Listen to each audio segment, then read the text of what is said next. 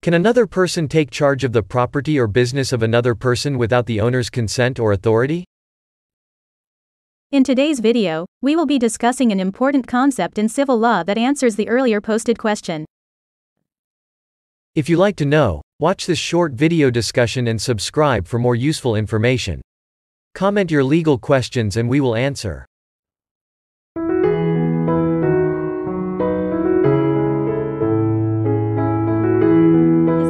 Contract that occurs when someone manages the business without the authority of the other? What type of contract then?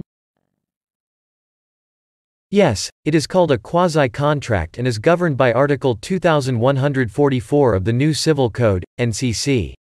Negotiorum gestio takes place when a person voluntarily takes charge of another's abandoned business or property without the owner's authority. Article 2144, NCC. As a rule, reimbursement must be made to the gestor, i.e., one who carried out the business, for necessary and useful expenses. Requisites 1. Person voluntary takes charge of. 2. The agency or management of a business or property belonging to another. 3. Property or business is neglected or abandoned. And 4. Manager has not been tacitly authorized by the owner. The obligation does not arise. A. When the property or business is not neglected or abandoned. B. If in fact the manager has been tacitly authorized by the owner. What is the obligation of the gestor? The person who manages the business of another.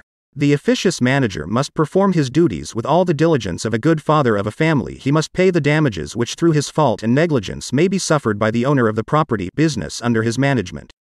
The courts may, however, increase or moderate the indemnity according to the circumstances of each case. Article 2145, NCC. What is the obligation of the owner of the property or business owner? Although the management was not expressly ratified, the owner who enjoys the advantages of the same shall 1. Be liable for the obligations incurred in his interest. 2. Reimburse the gestor for the necessary and useful expenses and for the damages the latter may have suffered in the performance of his duties. The above obligations shall be incumbent upon the owner if the management had for its purpose the prevention of an imminent and manifest loss, although no benefit may have been derived.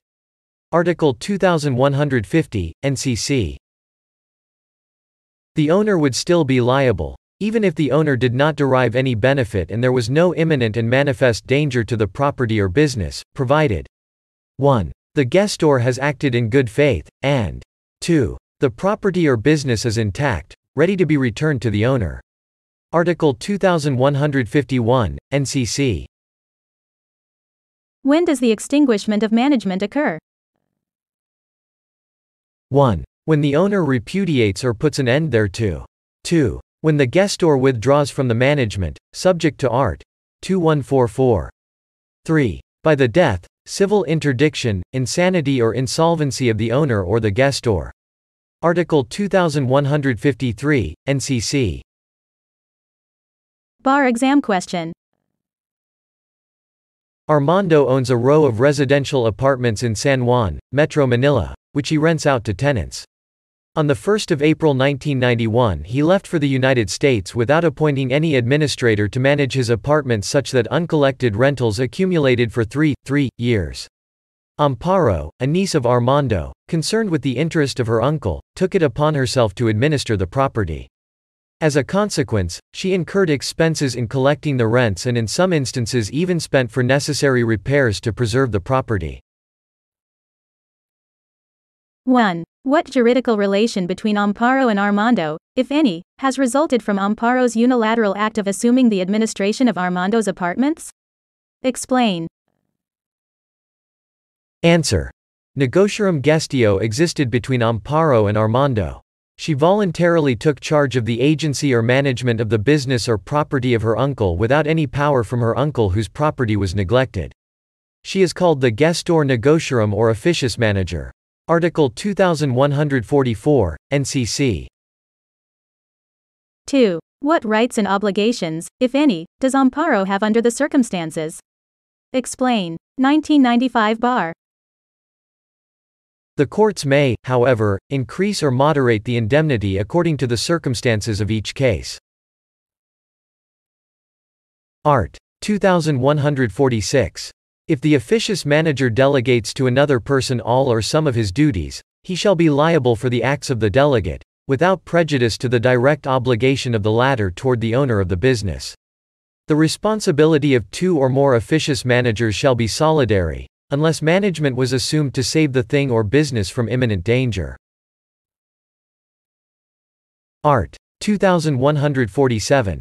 The officious manager shall be liable for any fortuitous event. 1. If he undertakes risky operations which the owner was not accustomed to embark upon. 2. If he has preferred his own interest to that of the owner. 3. If he fails to return the property or business after demand by the owner. 4. If he assumed the management in bad faith. Art. 2148. Except when the management was assumed to save the property or business from imminent danger, the officious manager shall be liable for fortuitous events. 1. If he is manifestly unfit to carry on the management. 2. If by his intervention he prevented a more competent person from taking up the management. Art. 2149. The ratification of the management by the owner of the business produces the effects of an express agency, even if the business may not have been successful. Art. 2150. Although the officious management may not have been expressly ratified, the owner of the property or business who enjoys the advantages of the same shall be liable for obligations incurred in his interest, and shall reimburse the officious manager for the necessary and useful expenses and for the damages which the latter may have suffered in the performance of his duties. The same obligation shall be incumbent upon him when the management had for its purpose the prevention of an imminent and manifest loss, although benefit may have been derived. Art. 2151. Even though the owner did not derive any benefit and there has been no imminent and manifest danger to the property or business, the owner is liable as under the first paragraph of the preceding article, provided 1. The officious manager has acted in good faith, and 2. The property or business is intact, ready to be returned to the owner.